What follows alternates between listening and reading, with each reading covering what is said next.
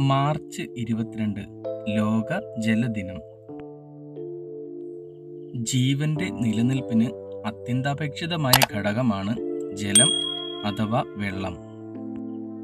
ജലം ഓരോ തുള്ളിയും സൂക്ഷിച്ച് ഉപയോഗിക്കേണ്ടതിന്റെ ആവശ്യകത ലോക ജനതയെ മനസ്സിലാക്കുകയാണ് ജലദിനാചരണത്തിന്റെ ലക്ഷ്യം. ലോക ജലദിനം എന്ന നിർദ്ദേശം ആദ്യമായി ഉയർന്നു വന്നത് ആയിരത്തി തൊള്ളായിരത്തി തൊണ്ണൂറ്റി രണ്ടിൽ ബ്രസീലിലെ റിയോവിൽ ചേർന്ന U N conference on environment and ഡെവലപ്മെന്റിലാണ്.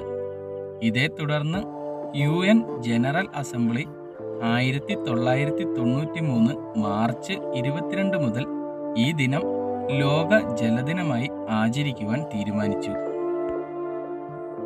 അടുത്ത മഹായുദ്ധം നടക്കാൻ പോകുന്നത് കുടിവെള്ളത്തിന് വേണ്ടിയായിരിക്കും എന്നൊരു പറച്ചിൽ തന്നെയുണ്ട്. കുടിവെള്ളത്തിന് സ്വർണത്തേക്കാൾ വില വരുന്ന കാലത്തേക്ക് ലോകം മാറിക്കൊണ്ടിരിക്കുന്നു. ജനസംഖ്യ വർദ്ധിക്കുകയും ഭൂമിയിൽ ജലം കുറയുകയും ചെയ്യുന്ന സ്ഥിതി വരാൻ പോകുന്നു. ഇന്ത്യ ഉൾപ്പെടെയുള്ള രാജ്യങ്ങൾ കടുത്ത ജലക്ഷാമം അനുഭവപ്പെടുന്ന രാജ്യങ്ങളുടെ പട്ടികയിലേക്ക് നീങ്ങുന്നു. കുടിവെള്ള സ്രോതസ്സുകളെല്ലാം ദിനം പ്രതി മലിനമായിക്കൊണ്ടിരിക്കുകയാണ്. മഹാനദികൾ ഇന്ന് മാലിന്യ കൂമ്പാരങ്ങളാണ്. കിണറുകളും കുളങ്ങളും രാസവസ്തുക്കളാലും ഖരമാലിന്യങ്ങളാലും അന്യമായി മാറുന്നു. ഇവയെല്ലാമാണ് ലോക ജലദിനത്തിൽ ഓർമ്മിക്കപ്പെടേണ്ട വസ്തുതകൾ. ജലസംരക്ഷണത്തിന്റെയും സൂക്ഷ്മമായ ജല ഉപയോഗത്തിന്റെയും കൃത്യമായ അവബോധം മുഴുവൻ ജനങ്ങളിൽ എത്തിക്കാനും ചെറുപ്രായത്തിൽ തന്നെ വീട്ടിൽ നിന്നും വിദ്യാലയങ്ങളിൽ നിന്നും ഈ ശീലം സ്വായത്തമാക്കാനും സമൂഹം തയ്യാറാവേണ്ടിയിരിക്കുന്നു. മഴയുടെ ദൗർലഭ്യവും ആഗോള താപനവും നമ്മെ വലയം വെച്ചിരിക്കുന്നു. കൂട്ടത്തിൽ വനനശീകരണവും പ്രകൃതിയുടെ നേരെയുള്ള ക്രൂരമായ കയ്യേറ്റങ്ങളും പ്രകൃതിയുടെ താളം തെറ്റിച്ചിരിക്കുന്നു. പ്രകൃതിക്ക് നേരെ പോലും ക്രൂരമായി ആക്രമിക്കുന്ന നാം ഒരു തുള്ളി ജലത്തിനായി മനുഷ്യനെ തന്നെ കൊന്നൊടുക്കുന്ന കാലം വിദൂരമല്ല. ദാഹമകറ്റാൻ വന്യമൃഗങ്ങൾ കാട്ടിൽ നിന്നും നാട്ടിലേക്ക് ഇറങ്ങുന്ന കാലവും ആരംഭിച്ചു കഴിഞ്ഞു. ജലത്തെ ഏതൊക്കെ രീതിയിൽ നമുക്ക് സംരക്ഷിക്കാം? വനങ്ങളും കാവുകളും സംരക്ഷിച്ചും മരങ്ങൾ വെച്ച് പിടിപ്പിച്ചും മഴയുടെ ലഭ്യത വർദ്ധിപ്പിക്കാം. മഴവെള്ളം മണ്ണിലേക്ക് ഇറങ്ങുമ്പോൾ ലഭിക്കുന്ന ജലത്തിന്റെ സംരക്ഷണം ഉറപ്പാക്കാനും ഒഴുകിപ്പോകാതെ ഇരിക്കാനുമുള്ള നടപടികൾ സ്വീകരിക്കാം.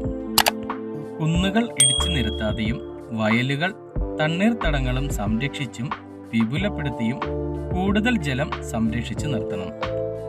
ഖര ദ്രവ മാലിന്യങ്ങൾ ശാസ്ത്രീയമായി സംസ്കരിക്കുന്നതിനുള്ള സംവിധാനം ഉണ്ടാക്കുക. മഴക്കുഴികൾ നിർമ്മിച്ചുകൊണ്ട് പരമാവധി വെള്ളം ഭൂമിയിലേക്ക് ഇറങ്ങാൻ അനുവദിക്കുക. കൃഷിയിടങ്ങൾ തട്ടുകളായി തിരിക്കാം. വീട്ടിലെ മലിനജലം ഓടകളിലേക്കും ജലാശയങ്ങളിലേക്കും ഒഴുക്കാതിരിക്കുക.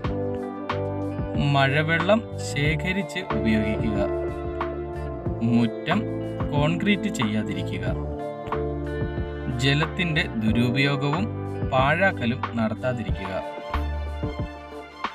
എല്ലാ വർഷവും ഓരോ വിഷയത്തെ ആസ്പദമാക്കിയാണ് ലോക ജലദിനം ആചരിക്കുന്നത്.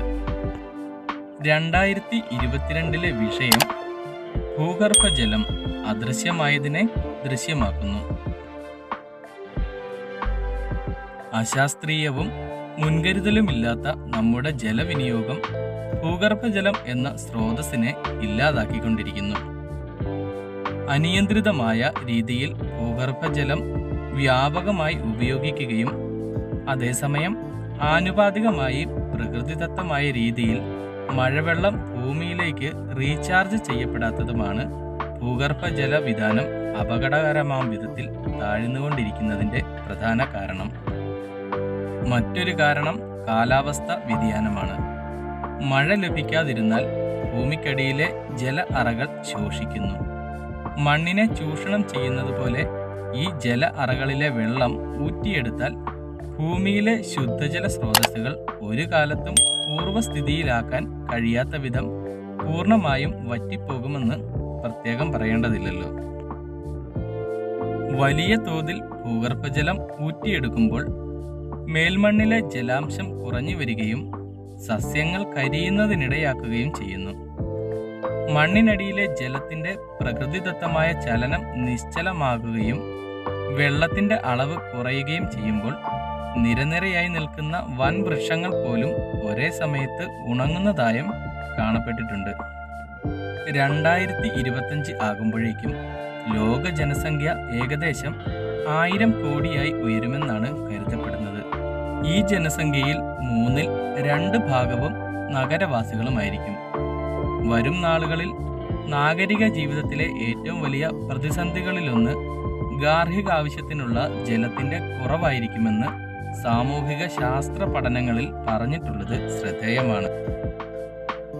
വെള്ളം സംരക്ഷിക്കാനും മലിനമാക്കാതിരിക്കാനും ശ്രദ്ധിച്ച് ഉപയോഗിക്കാനുമുള്ള സാമൂഹ്യ ബോധം എല്ലാവരിലും ഉണ്ടാകണം. ജലത്തിന്റെ അഭാവം മരണത്തിന് വരെ കാരണമാകാം. ജലം അമൂല്യമാണ് അത് പാഴാക്കരുത് എന്ന ചിന്ത ജലം കൈകാര്യം ചെയ്യുന്നവരിൽ ഉണ്ടാകണം.